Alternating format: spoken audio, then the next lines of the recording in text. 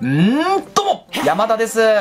最近ですね、ツイッターや、あとは動画のコメント欄ですよね、とかに、えーちょこちょこ、えー来ている、えー質問なんですけれども、あの、山田さんと、次の伝説何来るんですか？っていうのが、なんか最近ね、結構来るんですよね。えーこの動画を撮ってるタイミングではですね、今、ランドロスの化身フォルム。はい、こいつが出現しているんですね。えーランドロスっていうのは、まあ、あの、ボルトロスとトルネロスっていうこの3匹のポケモンですよね。3匹でもう1セット。まあ、の、純伝説と言われる奴らですよね。はい、こいつらの、まあ、そのポケモンで、えそれが今3種類全部終わったんですよね。で、さらにランドロスが期間が延長されたんですよ。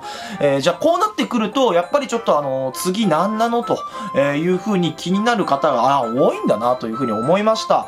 ということでですね、今回は、あの、過去にですね、来た、そのポケモン GO の中の黒卵、えーつまり伝説ですよね、星5レイドで出てきた、その伝説ポケモンたちの、こう、なんとなくのその実装サイクルとか、えーそういったものね、多少規則性があるんですよね。えーそれと、あとは、この過去のですね、出現してきた、えー、大体1年前ぐらいまでの、えー何のポケモンが出てきたのかっていうもののサイクルから予想できる次回、ですね。えー、こちら、エランドロスの後に何が出てきそうなのかっていうお話をしていこうと思います。まあでもこれに関してはあくまでも予想のね、えー、動画でございますので、まあ、山田はそういう風に考えてるんだなと、えー気軽に見ていただければなと思います。えー、それでは、えー、一旦ですね、え過去に来た、伝説ポケモンたち、こちらを振り返っていきましょう。えー、こちら、ゲームウィズがですね、あの、今出てるポケモンですよね。黒卵に出てるポケモンと、その前に何が出てきたのかっていうのをですね、えー、結構ぐわーっと並べてくれてるページがあるんですね。こちらの方を見ていきましょう。はい、えー、今現在出現中の、えー、ポケモンがランドロスですね。はい、で、このランドロスの前、もうざっと見ていきます。もう一個一個全部追ってもしゃあないのでね。はい。まあ、コバルオンですよね。こいつがいたりとか、えーその前がボルトロスとか、あとアーマードミュウツー、トルネロスの化身フォルムとか。はい。あの、ここの期間で一旦見ていただきたいんですけど、あの、伝説レイドってね、あの、サイクルがちょっとその、スパンですよね。期間のスパンっていうのも実はいろいろあります。えー、一番ですね、この中で分かりやすいのは、じゃあトルネロスとアーマードミュウツーが並んでるのでね、えー見ると分かるんですけども、トルネロスは2月の5日から26 6日ということで、割とえー長い期間ですよね。21日、こいつはえー出現していました。えーそれに対して次に出てきていたアーマードミュウツーは2月の6日から3月の3日ということで、まあ1週間ですよね。はい。えーしか出てきていません。えーこの差はですね、新実装なのか、復刻なのかっていうので、えー結構変わってきます。えートルネロスと、あとその次の次ですよね。出てきたボルトロス、あと今出ているランドロスもそうなんですけども、えーこいつらは今までポケモン GO で実装されていない伝説でした。えーこういったポケモンっていうのは割と期間が長いです。だいたい、えー20日間から、えー30日ですね、の間、えー実装されることが多いです。で、それに対して、ここに載っているアーマードミュウツーや、えーボルトロスの次に入ってきていたコバルオン。えーこの2匹はですね、復刻なんですよね。で、えーその前ですね、トルネロスの1個前、ヒードラン。はい、こいつがですね、期間長いですね。1月の8日から、えー2月5日と。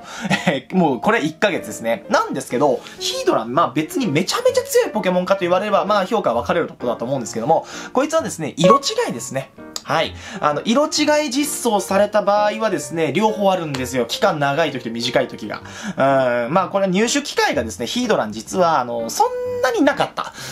前実装されて今回色違い来るまでの間そんななかったんで多分長め取ってくれたんだなと思います。で、そのヒードランの前がビリジオンですね。はい。えビリジオンの前ですよね。えに、レジアイスでルギア鳳凰っていうのがあるんですけど、ここのルギア鳳凰っていうのはまたちょっと規則性というか、えちょっと、まあ、たまにあるパターンのやつですね。同時に復刻してくるやつ。同時復刻パターン。はい。ルギアと鳳凰は12月の21日から12月の24日ですね。まあ、あの、クリスマス、ちょっと前からクリスマスイブまでの間に2匹とも出てきましたと。で、まあ、あと、レジアイスとか、これはもう完全にその日だけのね、イベントですからね。まあまあまあまあ、そういうイレギュラーもあります。スポットでね、その日だけ復刻っていうのもありました。で、その前に載っているこれ、テラキオン、コバルオンも期間長いですね。両方ともこの時が新実装でございます。え、この時のコバルオンが1月の5日ま、5日から27日までなのに対して、この前の復刻のコバルオンは18日からえ1日と。はい、いうことで、やっぱり期間がね、初実装とその後ということで、割と期間が調整されています。えここまで見るとですね、えちょっと、えその伝説ポケモンの実装サイクルっていうのがなんとなく見えてきましたよね。えまず、新しく実装される、今までポケモン GO で実装されていなかった伝説が来る時っていうのは、割と期間が長いです。で、復刻になると、これがちょっと短くなります。で、復刻も短く単体が来る場合と、複数体がまとめてドンと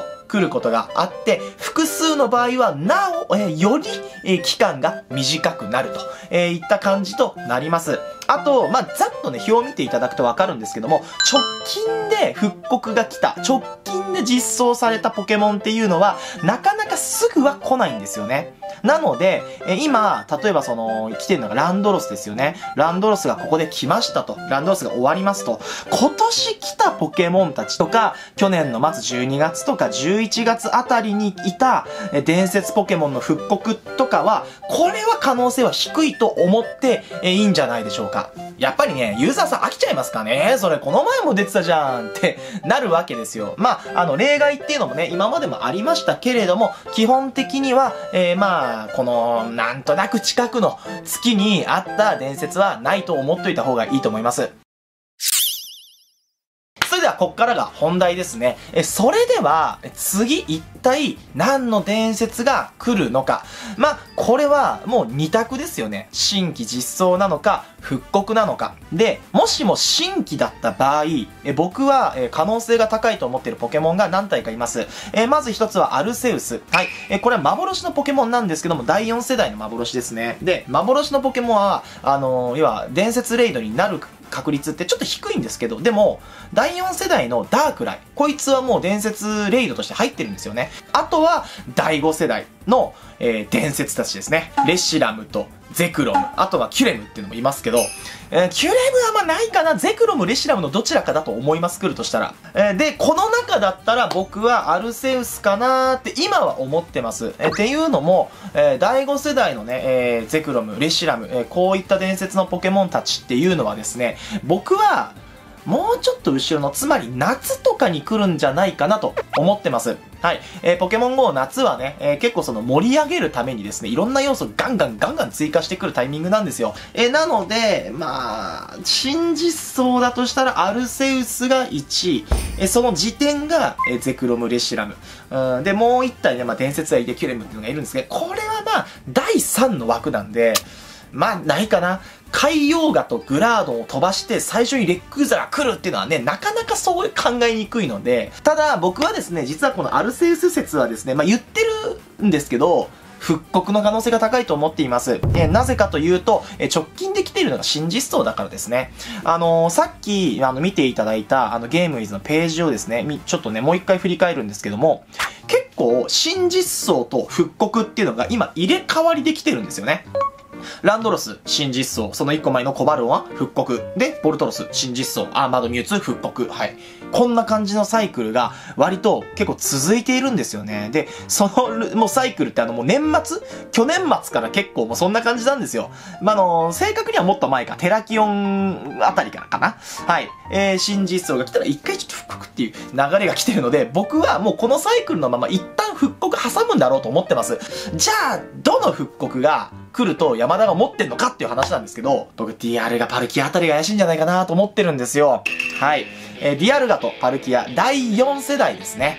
見たらですね、去年の3月の2日 にディアルガが来て、で、あのー、そのちょっと、ラティアスが挟まれて、そのさらに前にパルキアが1月に来てるという状態らしいんですよ。ディアルガとパルキア、この2匹が、要はそのレイドでゲットできるチャンスがあった頃から、だいぶもう期間が空いちゃったんですよね。で、その上で今ディアルガっていうポケモンはですね、ポケモン GO の GO バトルリーグでの需要がぐっと上がってるわけですよ。パルキアもね、普通に強いです。ディアルガとパルキアっていうこの2匹のポケモンが僕は今回復刻してかつ色違いとかさすがに出すんじゃないかなと思ってます。もうあの1年越しとかになるんで、もういいだろうと。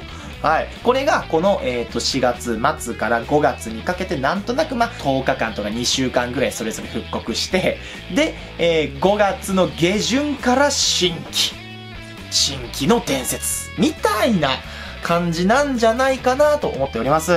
期間で言うと、こいつらもあり得るよなって思ってるのは、ユクシーアグノムエムリット。地域限定伝説たちですね。まあ、あの、ユクシーに関してはね、まあ、超超超低確率で日本国内で、えー、まあ、野生でもゲットできるんですけども、まあ、正直野生での報告なんていうのはとてもとても少ないわけですよ。ね。アンノーンみたいなもんですよ、あんなものは。うん。まあ、なので、やっぱりね、入手機会がね、その時しかなかったので、一旦復刻っていうのは、まあ、なくはないのかなと思います。はい。えー、ということで、えー、まとめます。えー、私、山田はですね、えっと、次の、伝説レイドは、まあ、多分復刻なんじゃないかと呼んでおります。で、伝説の復刻だとしたならば、DR がパルキア。えー、この辺の可能性が高いのかなと。で、もしも新規ならば、新規ならばアルセウス。はい。が可能性高いのかなと。ゼクラム、ゼクロムリシラムという第5世代の伝説に関しては、まあ、まだ早いのかなとか思ってるけども、可能性はまああるかなと。まあ、こんな感じですかね。えー、これで全全違うやつが来たら、ぜひ笑ってやってください。はい。えー、それじゃあ今回はこれで終わろうと思います。最後までご視聴いただきましてありがとうございました。もしよろしければ、グッドボタン、チャンネル登録よろしくお願いします。また、私はまだ Twitter、Instagram やっております。えー、山田チャンネル公式 Twitter も最近できましたので、よかったらそちらもフォローをお願いします。それじゃあ、また別の動画でお会いしましょうバイバイ